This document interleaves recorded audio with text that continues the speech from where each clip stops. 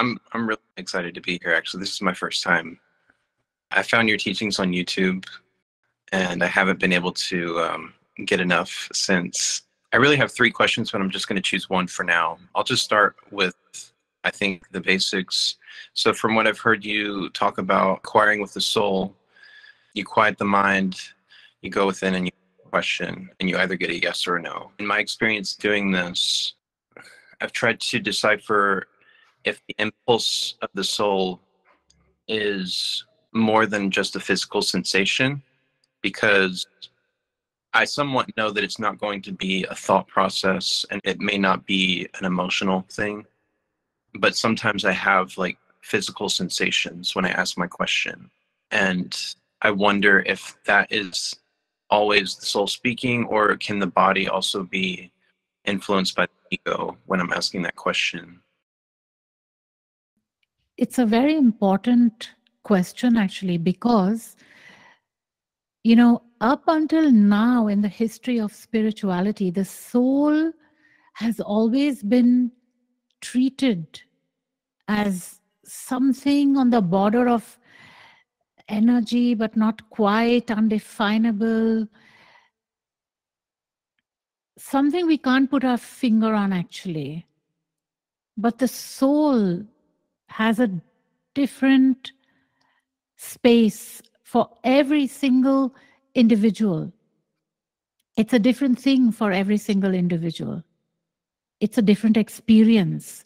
And yet, there's something very concrete about it. There's something central, there's something core to it. So if you ask the question and you receive a material impulse, that is what I say generally happens after a period of sadhana or practice. The question is what if that impulse is indeed something that the body is doing as a response? And that question is relevant because we do have different areas of, say, layers of or realms of consciousness. And those realms of consciousness range from the material physical to the emotional, from the emotional to the conceptual, from the conceptual to the transformative creative realm of our beings.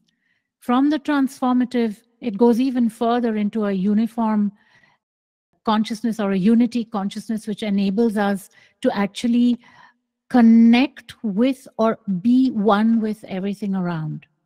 And then there are other layers of consciousness as well. So if you're receiving an impulse, it will be something which is being translated by all these layers of consciousness. But from where is that translation coming? It's originating at the core of your being. The core of your being means the center, which is the soul's space, the soul itself. And I say very clearly the soul is a material thing it is not a concept, it's a material thing. And so it sends this impulse as a guiding center to this whole being.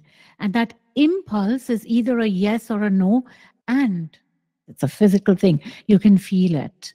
Whether it's composed of information coming from the genetics of the system, whether it's composed of information coming from outside the system, these are factors which we can't really ever know conceptually. It's a matter of experience. When I, for example, experience that impulse, I'm not in a position in that moment to even know where is that impulse coming from.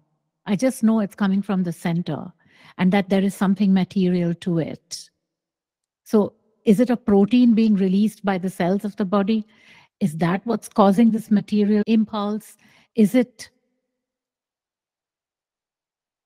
is it a wave, a thought wave that's making that happen? Because a thought wave has a material base as well.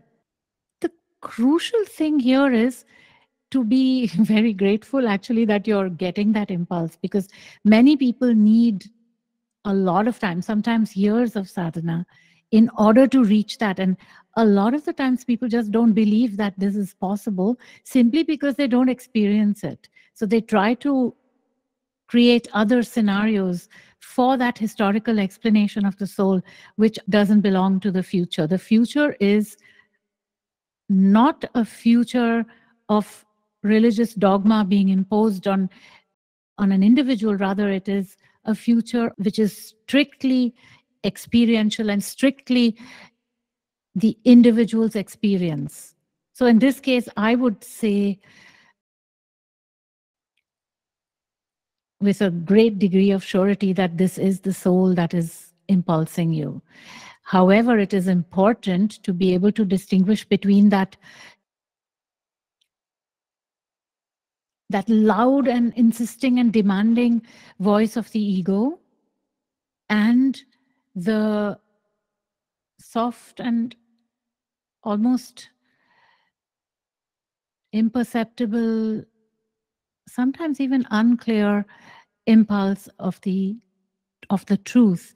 And as you go along and as you proceed on this journey of self realization, the impulse of the soul becomes clearer and clearer. That, that experience becomes solid. There's no doubt about that. Anyone who has actually practiced it would say that. And of course, there'll be those who say, well, how do we know it's not an imagination? How do we know it's not something we are creating in our thoughts? Yes, you will never know. But isn't it an adventure on its own to be able to actually,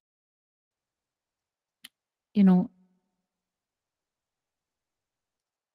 to be able to ask a question, to be able to even attempt to distinguish between the truth and the ego, and to be able to discern that, and then to be able to act from what you would consider to be the truth, at least, rather than to act out of what one calls instincts or the ego motivated actions or ego motivations. So seen from that point of view it's a it's it's it's an enormous thing actually to have that experience big and keep on that path keep on that road. It's not going to take you into suffering. It's going to take you into more let's say more joy than than than suffering. Yes. Thank you. Um, I, I feel like I could talk a lot, but I want to save time for other people. So thank you.